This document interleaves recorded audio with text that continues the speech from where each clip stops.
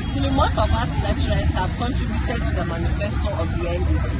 So, learning from the classroom, learning from our environment, learning from the society, there are a lot that we have put in the manifesto of the NDC. So we hope that when the NDC comes to power, the right decision making, the right policies will be implemented in the country. And some of us will ensure that the right things are done when the NDC comes to power. We've taken on the streets as lecturers because the country is going the wrong direction and we want things changed to get to the right direction. As you can hear all over on the streets, and you zoo everywhere as they see us on the street. We believe that the change that we want is coming, and that's the change that we want. So we, we are campaigning to contribute to the change. We want to make sure that, as I said the last time, we leave no stone unturned.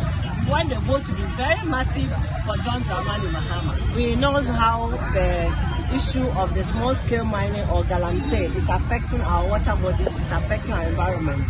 We have put all, all of us in Ghana, our health is at risk.